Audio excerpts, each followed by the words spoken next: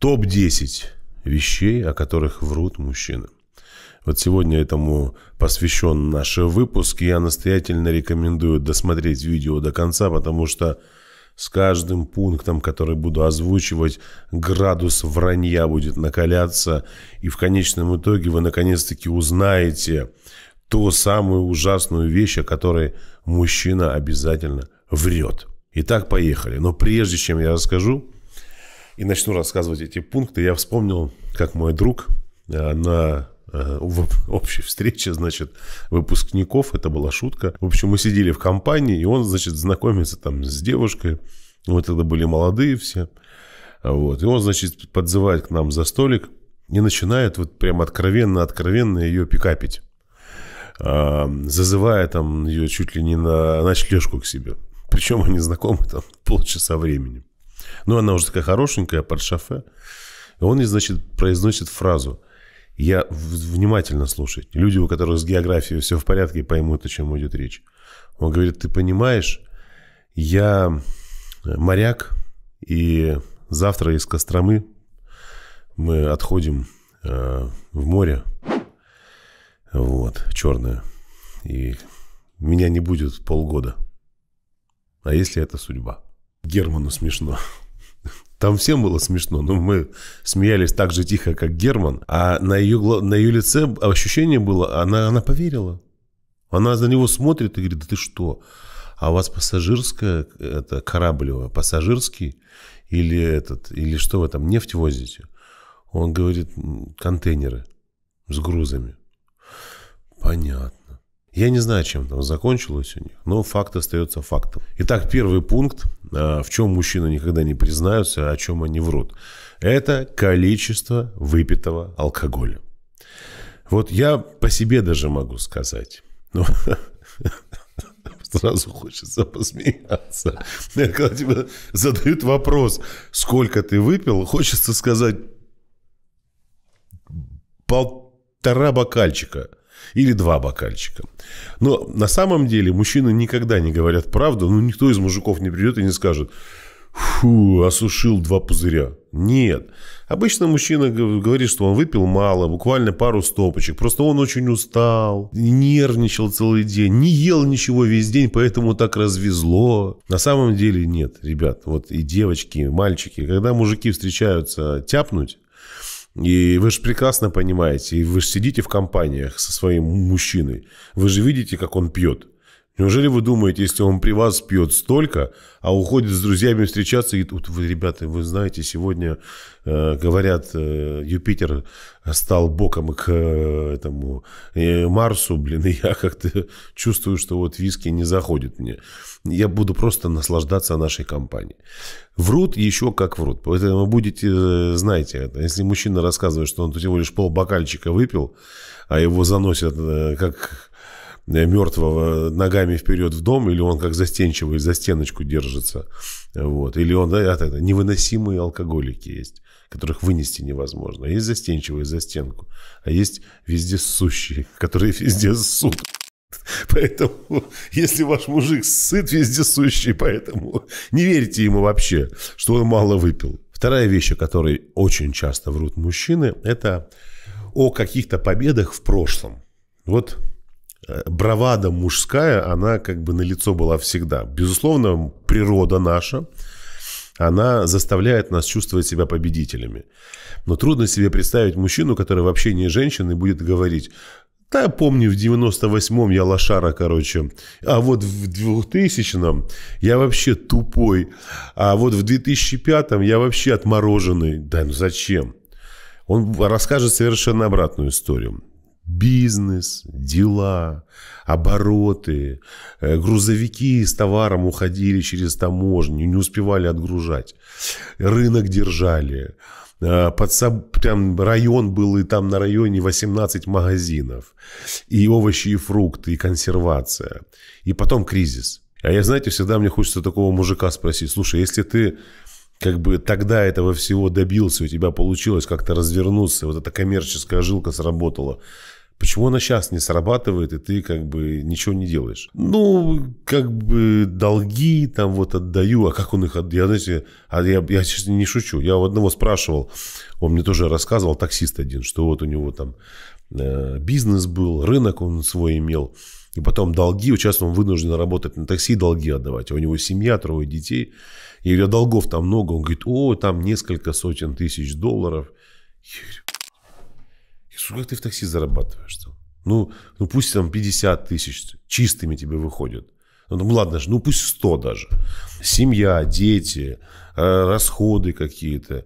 Что он в месяц там 200 долларов отдает за долги. Ну, сказочник редкостный, правда.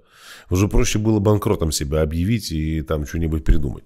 В общем, вы, когда мужчина вам рассказывает о своих супер достижениях в прошлом, вы слушаете, улыбаетесь, говорите ему, какой ты молодец, ты такой перспективный, я всегда знал, что ты перспективный. Но смотрите на него, как он в настоящем времени себя ведет. Потому что если в настоящем времени он явно отличается от того героя, которого он описывает в прошлом, мужчина 100% по ушам вам ездит. Вот если вам встречались такие мужчины, таксисты, поставьте лайк, пожалуйста. Третья вещь, о которой часто врет мужчина, это преувеличение своей занятости. Я не писал, потому что был очень занят, очень-очень занят. Я не звонил, потому что был очень-очень занят. Там, и так далее. Я не, не, не смог приехать, потому что был очень занят. В общем, он так занят всегда, что вообще не может никогда с вами быть на связи. Ну, это ложь, естественно, потому что каким бы занятым ни был мужчина, всегда можно найти 15 секунд времени для того, чтобы написать смс. Любимая, родная, у меня все хорошо, надеюсь, у тебя тоже, скучаю, люблю, до встречи, пока. Все. Если мужчина ссылается на свою э, занятость и не пишет и не звонит, это говорит о том, что он просто не хочет этого. Он занят своими делами. как Герман говорит. Он так раньше делал. Ему пишет девушка, а что ты мне не звонил? Он говорит, занят был. А на самом деле лежал, чипсы жрал, фильм смотрел какой-то и запивал это все фрешем а, сельдереевым. И был счастлив. Поэтому это тоже такая история. Меня, знаете, всегда вопрос был. Есть такая категория действительно мужчин, которые очень заняты. Но если мужчина очень-очень занят, надо обнаружить как бы результат его занятости. То есть, как бы, если ты видишь, если он вечно занятой, э, это то же самое. Я весь день был на охоте. А где добыча? Нет. Так, так либо ты лох, охотиться не умеешь, либо ты лох, не умеешь выбирать места, где надо охотиться, потому что там нет никого, кого можно убить. Э, либо ты э, просто меня обманываешь, либо ты лентяй, который не вставал, никуда не ходил охотиться. Поэтому будьте бдительны, дорогие мои девушки. Кстати, очень интересный момент. Э, вы хотите быть женщиной, которой, на, на которую у мужчины всегда есть время? Вот есть категория женщин, э, к которым мужчины тянутся, а есть категория женщин, от которых мужчины, наоборот, дистанцируются. И причин очень много. И некоторые из причин могут быть в самой женщине, а некоторые в мужчине. Его для того, чтобы понять, почему мужчина, например, не привлекается ко мне, не идет ко мне, избегает меня. И не один, может быть, многие мужчины не хотят со мной ни отношений, ничего, знакомятся и пропадают. Вот если вы хотите разобраться, в ком причина, в вас или в них, я вам настоятельно рекомендую пройти регистрацию на мой безоплатный курс международный и принять в нем участие из любой точки мира. Главное, чтобы у вас был интернет. И когда вы его пройдете, прослушаете, вы поймете, в чем лежит корень проблем. Четвертая вещь, о которой часто врут мужчины, это количество женщин в их жизни. И здесь этих мужчин можно сразу сегментировать. Есть категория мужчин, которые рассказывают о том, что у него было столько женщин, что он такой герой-любовник, что вот это когда общая тетрадь закончилась, он решил вторую не заводить. Потому что ну, для чего это переводить бумагу зря? Вот. А в общей тетради у него есть. Там на первой странице у него буква Г большая, на второй А, на третьей Л, а на четвертой я. И он на каждой странице, это так по факту было бы, если бы он вписывал там, было за всю жизнь, там, не знаю, там две женщины в постели и 1222, на которых он дрочил блин, во время просмотра порнухи. И он их всех вписал в одну тетрадь. Потом рассказывает женщина, а она-то думает, вот это да, вот это любовник, вот это он, наверное, меня сейчас так возьмет. То он там сунул, ткнул раз, два, три, пык-мык, блин, обсопливился и спать. Вот это разочарование. Мне же, а мне одна девушка просто говорит, что говорила, что я когда узнала, сколько у моего молодого человека было девушек, у меня комплекс неполноценности возник. Я говорю, почему? Ну, не знаю, как-то, мне кажется, я какая-то скованная. У меня всего до, этого, до него был один мужчина. И очень долгое время, как бы мы вообще там жениться собирались, и предложения, мы уже жили вместе, но так вот получилось, что мы расстались. И мне казалось, что как бы как с таким опытным мужчиной я буду в постели чувствовать себя как дура. Он разочаруется, тем более есть с кем сравнить. Вот. А когда у нас начались с ним отношения, и я оказалась с ним в постели, так я поняла, говорит, что я вообще красотка королева. А потом, когда начала еще общаться в общей компании с друзьями, вообще выяснилось, что он сам хер знает там по себе. Одиночка полжизни ходил, никого, значит, у него и не было. Была там какая-то у него девушка, которая его поматросила и бросила. Возникает вопрос, а откуда эти все остальные взялись? Вся. Прям букву «Я» хочется вставить в конце. Есть мужчины, наоборот, у которых было много женщин, огромное количество. Но они говорят, что они прям вот такие Э, очень брезгливые. Я такой брезгливый, я не, не, ты что, никогда не смог бы я с многими женщинами. Я очень избирательно отношусь. Вот. Ну, такой, э, такой ход манипулятивный, чтобы типа вот, о, какой у него вкус хороший, это, значит, обо мне речь идет. Да, да, да, да, да, Короче, вот в этом направлении мужики чешут э, как надо и делают это превосходно. Поэтому все делите сразу на 25. Вот все, что он рассказывает. И не верьте вот в такую ерунду. Мужчинам свойственно приукрашивать свои любовные походы, э, как там от него все с ума сходили, без ума от него были. И как бы они могут даже вам сказать, мы с тобой будем в отношениях, только ты в меня не влюбляйся. Только не влюбляйся, просто невозможно устоять. Столько женщин, это пали у моих ног.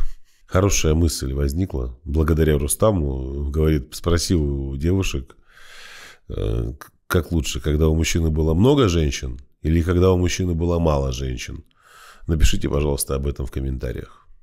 Пятая вещь, о которой часто врет мужчина, мужчины, а, когда, особенно когда начинают только общаться с женщиной, это любят рассказать. Ты знаешь, мне так больно сделали в прошлых отношениях плюнули в душу, нагадили в сердце, оставили неизгладимый след, так сказать, на, в душе моей.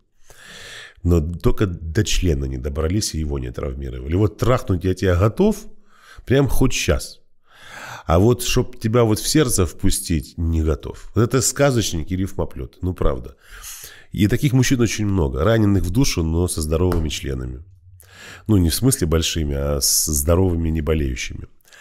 Вот. И это очень распространенный манипулятивный ход. Почему? Есть категория женщин, которые на это ведутся. Это женщины такие спасатели. Они любят... А, а, мне так сделали замечание, что последнее видео очень много мата от меня. Но вот здесь просто есть такая фраза «носим ношен, брошенная». А, вот. Вот эта категория есть такая категория женщин, они прям, прям влюбляются в этих мужчин. Вот его кто-то бросил, и она такая, о ты, о ты, боже мой, как тебя можно было обидеть? А он еще сидит, знаете, такие глаза, сука, делает, как будто вот он, он, ты понимаешь, Галя, я на коленях всю службу отстоял в храме. И тут пришел вот это вот без перегара вообще. Только с... А там одна просто прихожанка споткнулась и как-то случайно во время молитвы мне сюда помадою э, поставила засос, ну, и отпечаток. Я, а там людей там много на службе, потому что кто-то толкнул ее, она так раз мне, а я это откуда знал? Вот. И, он, и после этого она меня выгнала и сказала, ты непорядочный человек. Вот. И как бы, а так я хороший. И реально, я же даже по себе помню, я когда был молодым. Я когда был молодым, в общем, зеленым, это Это, ну, надо так сказать. Это, ты, если так не скажешь, то все. Надо вызвать сострадание. А еще женщина любит говорить, вот встретила бы эту суку, дала бы. А еще женщины говорят, вы так говорите, типа, ладно, если вы с ним прожили 20 лет уже и говорите, ну ладно, хотя бы 3 года, и говорите, я так благодарна этим твоим бабам, что они не оценили тебя. Ну, часто, кстати, такое бывает. Может нормальный мужик быть, а вам попадались какие-то женщины безобразные, а тут попался. И такое может быть, действительно. Вот. А так-то бывает, она его три дня знает, и она уже ему говорит, я тебе так, вот так благодарна твоим этим женщинам, что они такого мужика упустили, зато теперь ты мой. Он по себя думает, ну, конечно, сейчас ты меня получше узнаешь, и сама попрешь меня оттуда из отношений ногами. Так что, девочки, будьте внимательны. Когда мужчина рассказывает про боль э, у сердца, я знаю таких мужчин, они в терапии находятся. Они не в кафе сидят с вискарем и шампанским и выбирают гостиницу, куда вас завести. Они у психологов, у психотерапевтов работают над собой, потому что действительно есть мужчины, которые болезненно переживают расставание, они сталкиваются с психогенной импотенцией, у них не стоит, они не хотят, у них отвращение к женщинам, ненависть к женщинам, они уходят в себя, замыкаются, и таких мужчин много. А вот эти рассказ, рассказчики, которые вам говорят, что мне тут больно, а здесь не больно, это, это все Ганс Христиан Андерсон, его поклонники. Шестая вещь, которой мужчина может врать, это когда он говорит о том, что для него вообще секс не важен, а для него, значит, важно вот это вот в диалоге с вами быть и в общении, что он как раз вот увидел в вас ту самую душу, так сказать, эм, из миллионов других э, душ. И, как правило, так говорят кто? Первое. Мужчины, которые заснули в поле, им случайно косой хер откосили. Импотенты.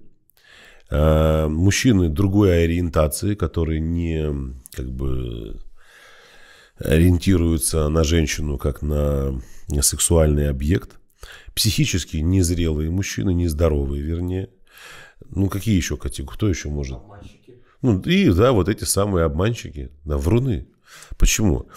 Усыпляет бдительность. Усыпляет бдительность. Типа, э, э, провокация, провокативно вообще. Это знаете почему? Я вам расскажу одну историю. Приходит ко мне, значит, девушка на консультацию и говорит, Марк, я э, с молодым человеком познакомилась.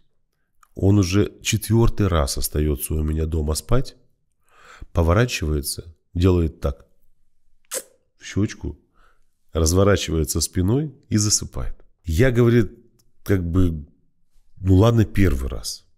Я прям зауважала его. Даже рукой не притронулся. Второй раз думаю, ну, ну третий, ну четвертый. Как бы, что-то делать. Я так спросил у него. Ну, так задай вопрос прямо. Не бойтесь этого. Чего бояться-то? Вот. Она задала ему вопрос. Типа, а почему ты ко мне не пристаешь? И он ответил уникально, э, знаете, такой уникально сказочный, такой просто... Он и говорит, ну, просто я хотел, чтобы ты почувствовала себя рядом со мной комфортно, и чтобы тебе, чтобы ты не подумала, что я хочу тобой воспользоваться. Ну, звучит благостно, правда? Ну, прям благородный рыцарь. Блин. Четыре раза он спит с ней и ни разу к ней не пристал. Благородный. Чем это все закончилось? Она к нему пристала сама. Понимаете? Есть такая категория мужчин, которые вот за счет такого поведения повышают свою значимость. Вы представляете, ради него женщина побежала, блядь, к психологу. Ее это начало беспокоить. Она его начала соблазнять. Она начала себе копошиться. Может, со мной что-то не так. Может, у меня там внешность не такая. Может, мне как-то пахнет не очень. Может, я не сексуальная. А может, пятая, а может, двадцатая, тридцатая. И вот через такие подходы мужчина очень часто просто вводит женщину в состояние э, заблуждения, манипулирует ей. Поэтому будьте внимательны, потому что сама природа мужская говорит о том, что он идет знакомиться с женщиной только под воздействием сексуальной энергии. Она привлекает его внешне, и он идет к ней размножаться. А тут он пришел, она внешне его привлекла и говорит, я не хочу. Ну как это не хочу?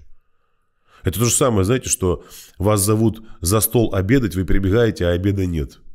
И так каждые четыре раза подряд. Мишенька, Сашенька, идите обедать. Прибегаете, а, а, а где обед? А обеда нет. Опять приехали, опять третий, четвертый раз. Так же и здесь. Это бред какой-то. Мужчина не пойдет знакомиться с женщиной, просто чтобы с ней поспать вместе рядом. Герман, ты знакомился с женщинами, чтобы четыре раза подряд с ними спать? Ну, четыре точно нет. Да и в принципе. Скажи, я вообще не буду знакомиться с ними, если они спать со мной не будут. Ну, есть такой момент, что присыщаешься иногда сексом. Бывает. Но чаще всего 90% э, мужчин знакомятся для секса, это факт. А 90, а 10% для чего? Ну, у меня было такое, что я присытился один раз сексом, и реально хочется просто поваляться. Познакомился с девушкой, чтобы поваляться с ней? Ну, познаком... намерение изначально не, не просто поваляться, но иногда ну, не хочется быстро как насладить, потому что и так это работает нормально. Я думаю, ты понял мою мысль. Я просто вспомнил одну историю. Мне один парень рассказал. А, и не буду говорить, как его зовут. Если он посмотрит это видео, я думаю, он поржет, напишет мне. Короче, он познакомился с девушкой, а она мастер спорта по самбо, а он не знал. И э, как бы они остались один на один, она ему говорит, если ты будешь приставать ко мне, а причем она выглядит очень женственная такая, по ней не скажешь, что она самбистка.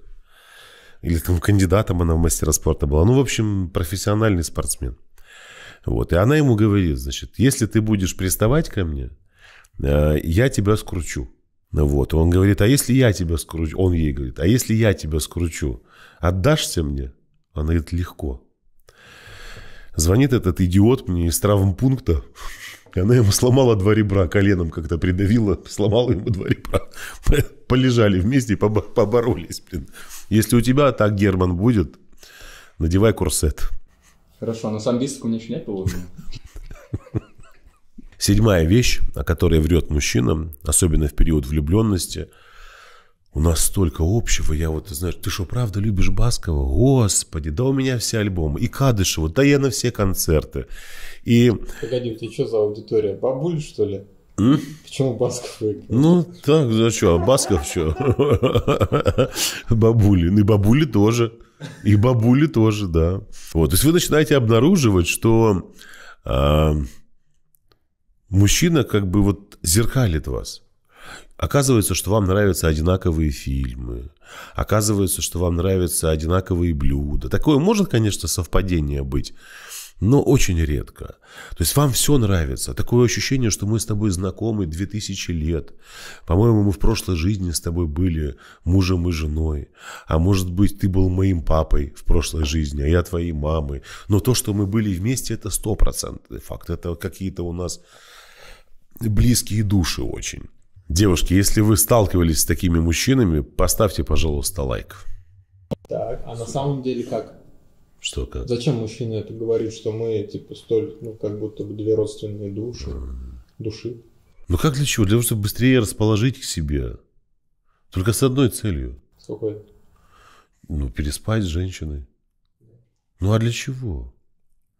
Знаешь, если это уже в отношениях происходит, глубоко в отношениях, люди действительно могут со временем найти э, какие-то сопересекающиеся, похожие состояния и проявления. Это нормально, потому что э, в процессе отношений там действительно могут быть общие ценности, общие взгляды на жизнь, общие привычки. То есть это может обнаруживаться в отношениях. Но по идее эти общие ценности и должны были свести людей вместе. И кто приходит в отношения не через эгегей, эгегей, там через сексуальную близость, а еще, кроме сексуальной близости, еще и через мозг, и через ценности, и через э, общие какие-то планы на жизнь, тогда таким э, совпадением как бы и не приходится удивляться в отношениях. Вот чтобы, кстати, создавать такие отношения, о которых я сейчас э, говорил, отношения, основанные на ценностях, на любви, на привязанности зрелой друг к другу, на взаимообмене, на сотрудничестве.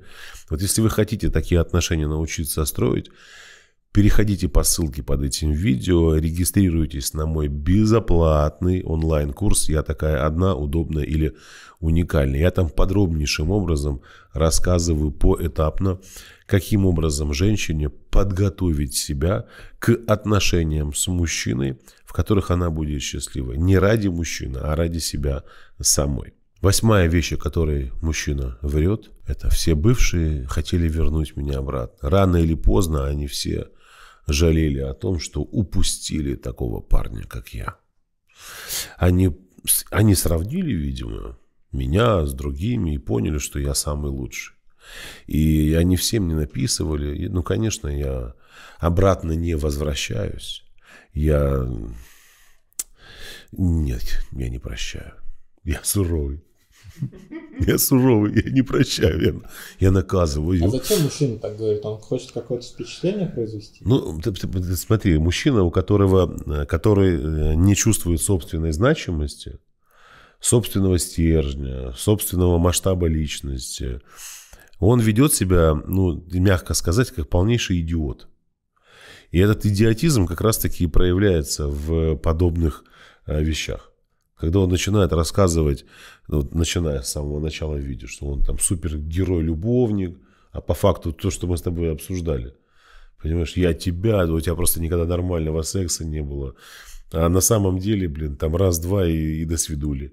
И женщина лежит, блин, зубочисткой в зубах ковыряется, это колбасу ливерную достает, а он уже храпит, понимаешь? Вот, а, как бы, а это значимость подчеркнуть свою. Вот какой я крутой, какой я классный, манипуляция, установки определенные. Вот смотри, цени меня, потому что и ты потом будешь жалеть, будешь локти кусать. Кстати, совсем скоро выйдет а, на моем канале видео 10 самых распространенных манипуляций мужчины. Поэтому подпишитесь на мой канал, нажмите на колокольчик, чтобы не пропустить его. А, еще одна вещь, о которой врет мужчина, это он говорит своей девушке, там, женщине о том, что он любит ее вот такой, какая она есть. Это то, что касается ее внешности. Есть мужчины, которые прямо своим женщинам говорят, ты жирная корова. И таких женщин очень много, и вы мне пишете, дорогие мои, я знаете, что вы даже сейчас смотрите это видео, и жалуетесь на своих мужчин, что вот он, значит, мне таким прямым текстом говорит, что я жирная, мне надо худеть, мне надо то, мне надо это. А есть другая категория мужчин, которые а, видя а, явные изменения в своей женщине в худшую сторону, без каких-либо причин, то есть это не болезнь, это не беременность, они натягивают улыбку и говорят, да меня все устраивает, да мне все пофиг. Хотя я тебе честно скажу, есть мужики, которым вообще плевать. Я э, видел парочку одну, вот смотрю со стороны, там такая женщина, знаешь, уже такой докер портовый, танчик на гусеницах, блин. Ну, прям э, переедет, блин, и все. А он худой. Я понимаю, что может быть, у него вкус такое предпочтение. Я, кстати, вот только недавно рассказывал на лекции у себя, что есть категория мужчин, которые любят полных женщин. У меня такой приятель есть. Вот если у него женщина 100, э, там, минус 100 килограмм, минус, меньше 100 килограмм, он с ней в жизни никогда не будет. Вот у него все женщины должны быть 100 плюс. Вот если не 100 плюс, он даже не возбудится. Он женился на девушке 110 килограмм весит она. Не, ну она такая ухоженная, приятная, 110-килограммовая и ну, следит за собой, ухаживает. Ну, может быть, такие предпочтения есть. Сейчас в комментариях женщины закидают, которые много весят. А что, я, я ничего против не имею женщин, которые много весят. Если они ухоженные. Есть просто есть женщины, знаешь, которые а, полные, а, и они вообще за собой не следят. Они не, не мытые, не какие-то грязные, ну, в прямом смысле слова. Одеваются как чуханки. А есть женщины э, крупной комплекции, но на них даже приятно смотреть. Знаешь, вот они, там, прическа, макияж, какие-то наряды на них, вот, э, подходящие им. Приятно пахнет от них. И я могу, я даже я общался с такими девушками, вот в процессе на съемочной площадке, там на различных каналах. Абсолютно нормальные девушки. Я говорю сейчас про женщин, которые поставили на себе крест. И, между прочим, это один из таких психологических э, механизмов э, защиты, когда женщина, э, возможно, там аутоагрессия, злость, которую женщина не может выплеснуть, возможно, там нет навыков по работе с границами личного пространства, и женщина все это в себя накапливает, накапливает. Вот, и начинает формировать себе там и дефицитарную сексуальность, и просто как женщина отходит на э, второй план. Ну а то, что касается мужчин, которые действительно могут приврать вам, что я люблю тебя такой, какая ты есть, а при этом он боится обидеть вас, возможно. Да, вот он может любить вас, правда. Вы вот надеваете на себя платье, а он понимает, что это платье, ну просто э, как гусеничка вы в нем. И он не может вам сказать, любимая с ними. Но, чтобы вас не обидеть, он вам скажет, там, тебе так хорошо. Это, между прочим, женщине нужно понимать. Если вы сами видите в себе изменения в худшую сторону и не нравитесь себе, я вас уверяю, значит, вы стопроцентно не нравитесь своему мужчине. Это, это неоспоримо. Ну и десятый пунктик. Это очень частая распространенная ложь мужчины. Когда мужчина говорит, ты первая, с кем я это пробую и делаю.